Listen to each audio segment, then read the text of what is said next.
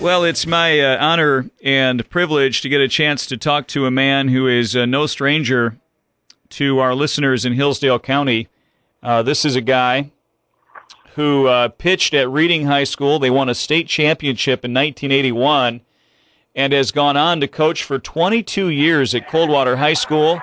He has a master record of 453 and 323. That is unbelievable and all sorts of other uh, championships and honors during that time. And he really got the ultimate honor Sunday night in Detroit as he was named to the Michigan Baseball Hall of Fame. We want to welcome Randy Spangler to the program. Randy, how are you? Good. I'm great. I'm just sitting on the bucket watching a 12 and under baseball game and going to try and coach, talk, and do it all.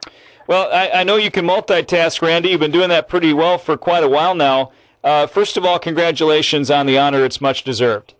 Well, thank you. It was uh, really nice to get, and uh, you know, not many people get it, and uh, you know, it's nice to have that. But uh, like I heard from the legendary coach Pat O'Keefe, he always says, uh, "I never, uh, I never made a play myself, so the kids did it." But so we're having fun with it. It's nice, and we're, you know, life is good. So, how did you find out, uh, Randy, that uh, you would be inducted into the Hall of Fame?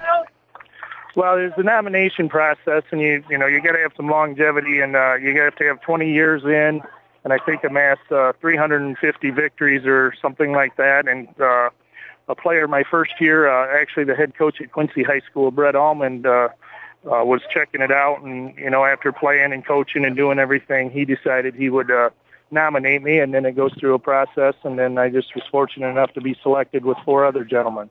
We're speaking with Randy Spangler, who's the head baseball coach at Coldwater High School. On Sunday, he was inducted into the uh, Michigan High School Athletic Association Hall of Fame for baseball.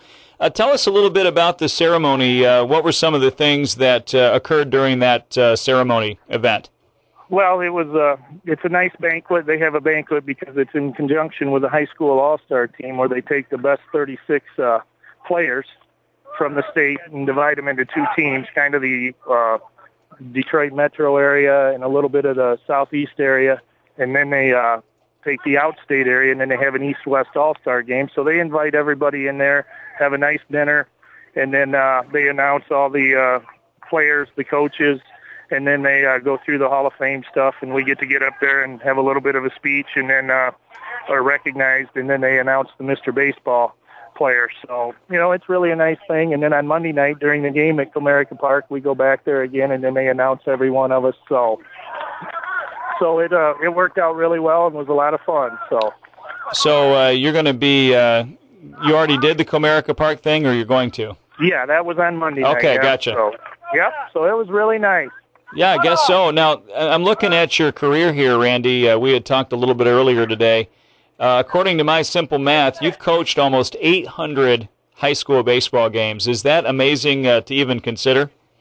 Uh, yeah, probably when you put it in that perspective, but it really, you know, I guess it still doesn't. It seems like it was yesterday, Uh-huh. and like I said, Brett Almond there, it was he played in the summer for us that first year, and uh, you know, it just flies. It just flies. So it's uh, you know, it's just a neat deal, and you know, we've had a lot of great kids go through, win or lose, and uh, you know, you just hope that uh, you taught some kids how to play baseball so they can be here like I am, you know, coaching their sons and trying to teach them good things. Well, you got a great uh, start uh, when you look back at what you were able to do at Reading High School, uh, pitching for a state title back in 1981. What did you take out of that experience?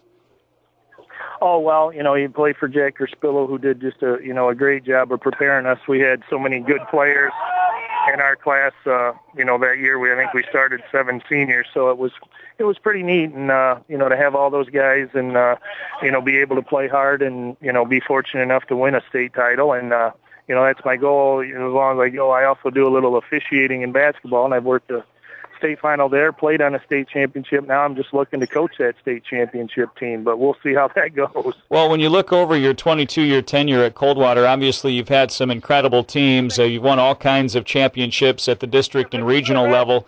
What do you think was the team that was closest, Coach, uh, as you look back to, to making that ultimate goal?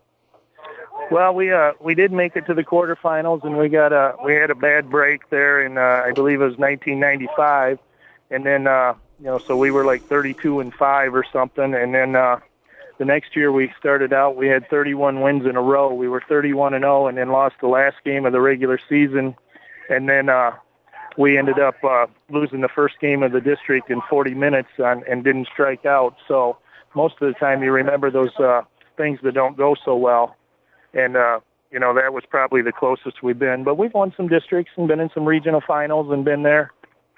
So it's been fun, you know, and, and every year, even the years you don't have a real good team, you know, the kids are still good. They're still fun to coach and still try and work to make them get better as the season progresses. So, you know, all of them have some special memories, but that was probably the closest those two years. We're speaking with Randy Spangler, who on Sunday was inducted into the Michigan High School Athletic Association Hall of Fame, and uh, he's our guest tonight on the Timeout Show a few years ago, you were actually invited to to coach a junior Olympic team. Uh, can you tell us what that experience was like? Phenomenal. It was great. It was in St. Louis, Missouri. We got to play at Busch Stadium, and uh, they take uh, the four regions: north, south, east, and west.